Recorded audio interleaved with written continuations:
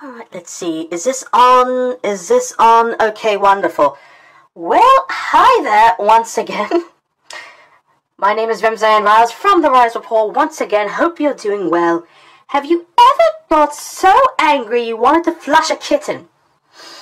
Oh God, I started with that, didn't I? Uh, yes, I, I know that sounds very morbid, but I do have a point with this, so please bear with me for one moment. Please, you won't be disappointed. Or you will be disappointed. I don't know. But, uh... oh my god, why am I laughing? It's gonna be so horrible.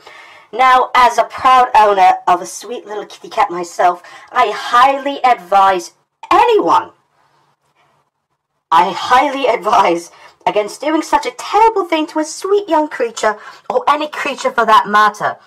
I'd also advise you to not yell it on the top of your bloody lungs that you want to flush a goddamn kitten in front of an entire audience at a video game tournament for Super Smash Brothers.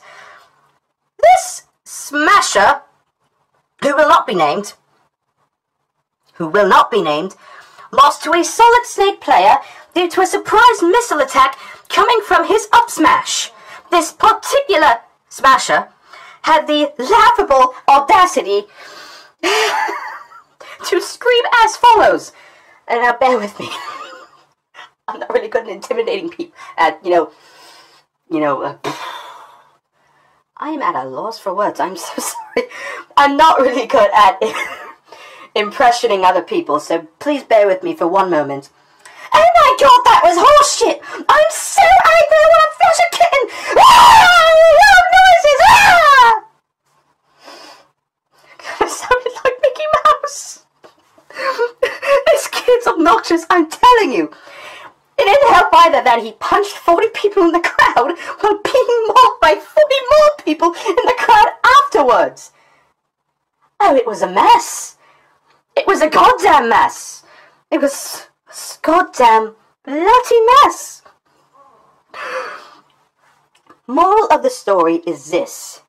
If you're so angry that you want to flush a kitten, do yourself a favor, take a mean shit,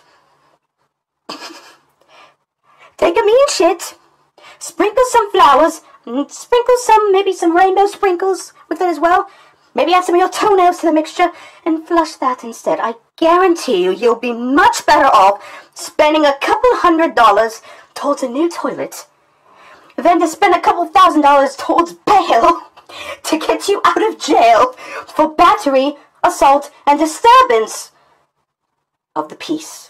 This has been Riemsianne Riles and Riles Report signing out. Teal, teal, teal! Oh god, that was so